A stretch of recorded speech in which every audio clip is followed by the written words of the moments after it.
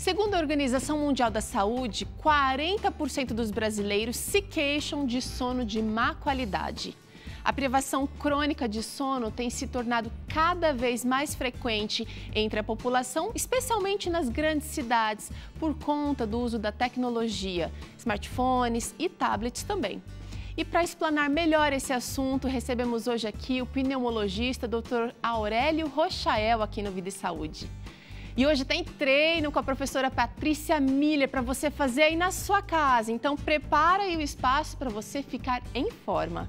E vem cá dar uma olhadinha nessa receita saudável e saborosa de hoje, brownie proteico de chocolate. Quem vai ensinar pra gente é a nutricionista Amanda Costa. Vida e Saúde está só começando, em 30 segundos a gente volta com muito mais para você.